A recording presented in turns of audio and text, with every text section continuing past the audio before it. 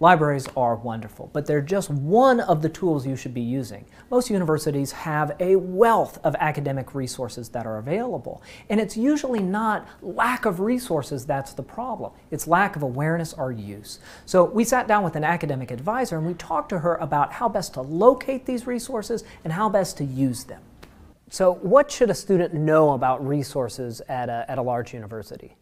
That resources really are everywhere and taking advantage of them is something that all students do mm-hmm. and particularly really good students are using resources all of the time mm-hmm. i think it's a common misconception that i shouldn't use a resource until i'm struggling or until mm-hmm. i'm experiencing trouble in my class but thinking about what can i learn from using a resource right off the start so how does a student learn about those resources how, how do they search this out I would start by talking to faculty. I think that's a great place to start. They'll be mm-hmm. able to refer you to any tutoring centers or study labs that are related to the discipline that you're studying or the discipline that you want to learn more about. Mm-hmm. Talking to TAs or teachers' assistants to learn mm-hmm. more about the student experience on yeah. campus. Mm-hmm. Asking questions too. Mm-hmm. When you're visiting with a faculty member, when you're visiting a study lab, ask that person there hey, where else do you think I should go? Yeah. What's another resource that could be available to me on this campus related to the issues I'm having? Yeah. What I really like about that is this notion of asking the next question. Because no faculty member, no individual staff member knows all the resources out there, or even the ones that are best for you.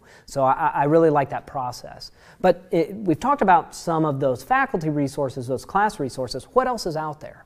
I think one of the biggest things someone can do is learn from their peers. Mm-hmm. So find out what maybe clubs and organizations are around. Mm-hmm. For example, pre-professional clubs, pre-med clubs, pre-law mm-hmm. clubs, pre-business clubs, right? Mm-hmm. These are students that perhaps have more experience with classes, have more experience with community events that might be happening mm-hmm. outside, and can connect you to that student life and discipline experience. Great. As you're thinking about all these different resources, what's a, what's a good general framework to approach them from?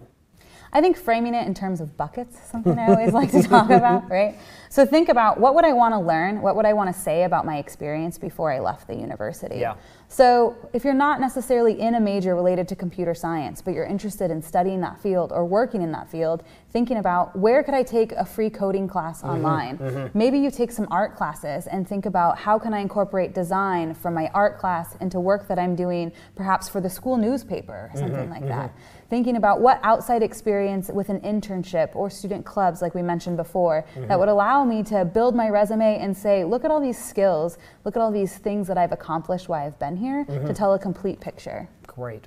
Modern universities offer so many great resources. Uh, you should be talking to your professor, talking to your TA, getting recommendations about where to go next. Um, your time at college is so much more than merely the classes that you take.